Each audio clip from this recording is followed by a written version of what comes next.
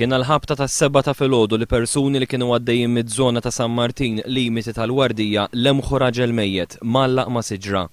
Ir-raġel kien identifikat ftit tal-ħin wara bħala John Agius ta' 54 sena mill-Imġarr. Il-Pulizija ssoktat bl-investigazzjoni fost l-oħrajn bil-ħsieb li tinterroga lis-sieħba tar-raġel, Karen Elizabeth Caruana ta' 54 sena mill-Mellieħa. Imma meta waslet fid-dar tal-mara, il-Pulizija sabet persuna oħra mejta fuq is-sodda, sejba li tat żvolta drammatika oħra lil dan il-każ. Fuq il-katavru tal-mara ma dehrux sinjali ta' vjolenza. Kienu nnotati biss traċċi ta' likwidu ħiereġ minn ħalq il-vittma. L-awtopsja kkonfermat li l-mara mietet kawża ta' għarqa. Jirriżulta li l-Pulizija qed timxi fuq it-teżi li r-raġel mar għand il-mara, kellhom xi jgħidu u r-raġel għarraq lis-sieħba tiegħu fil-banju u tefagħha fuq is-sodda. Hemmhekk ir-raġel telaq lejn l-Imġarr, ħalla l-karozza tat-tip Opel ftit 'l isfel mid-dar u mar bil-mixi lejn San Martin.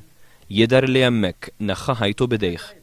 L-investigazzjoni tal-Pulizija qed titmexxa mill-Assistent Kummissarju Pierre Calleja u mis-Supretendent Silvio Valletta.